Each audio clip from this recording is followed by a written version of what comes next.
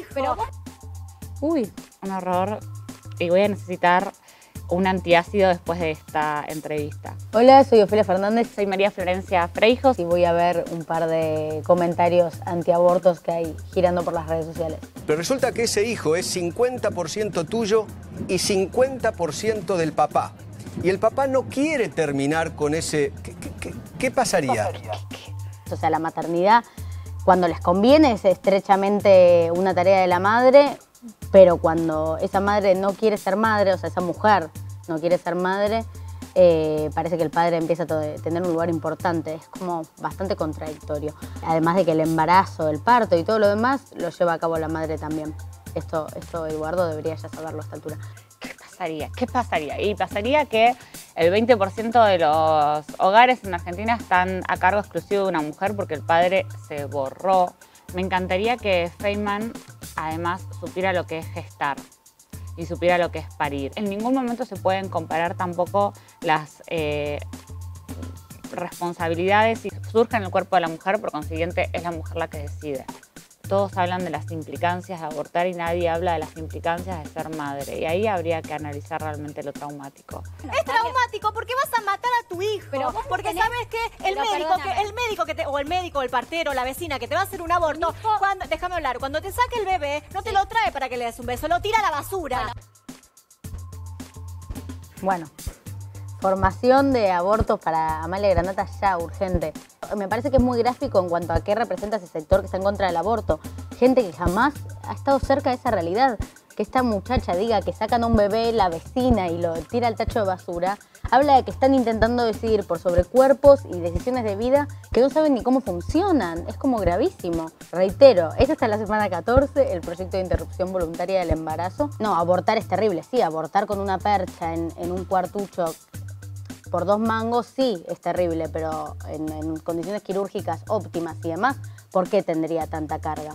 No es lo mismo. En los países en los que es legal el aborto no es que empiece a ser método anticonceptivo y se vende misoprostol eh, como si fueran, fueran caramelos. Es al contrario, disminuyen las tasas. En los lugares donde se legaliza el aborto también se lo acompaña con campañas de difusión sobre anticoncepción y demás. Es traumático porque vas a matar a tu hijo. Pero vos- Primero ella habla de hijo. Hijo es una relación construida, así como madre y padre, a nivel social. Eh, médicamente, es- específicamente, es un embrión y un feto. Y en esto coincidimos los que estamos en esta postura como los que están en otra postura, este, que, que- que hay un feto, no hay un bebé. El bebé es la construcción que uno hace. Cuando eso no es deseado, esa construcción no existe. Lo que existe es una pesadilla, con lo cual lo traumático es continuar con esa gestación. ¿Saben lo que van a lograr con esto? Las chicas de 12 o 13 años que tienen hijos, tienen hijos en general de un tío, de un hermano o del padre. ¿Saben una cosa? A esas mujeres las van a llevar al hospital y las van a hacer abortar a esas niñas legalmente. Uy. No, no, no, yo esto ya lo escuché y no lo puedo seguir escuchando. No puedo, es- ese es mi límite. De hecho, me parece preocupante que lo diga como, bueno, está pasando esto y le vas a dejar a esa, esa chica abortar.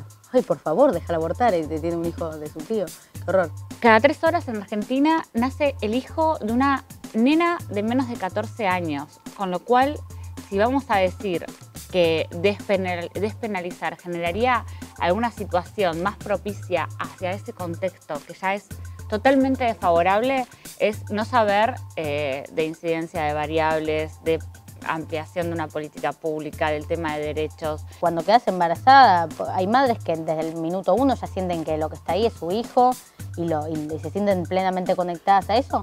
Y es más que válido, es, pero el tema es que no puede ser una sensación generalizada. No se trata de cómo vos percibís el embarazo, cómo vos percibís esa vida. Se trata de, permitir que cada quien lo- la, la perciba como quiera, de conceder esa libertad, de empatizar con personas que no, no, no piensan en un embarazo como este, este bebé que te habla y te cuenta de sus derechos. Sí, estamos buscando la libertad.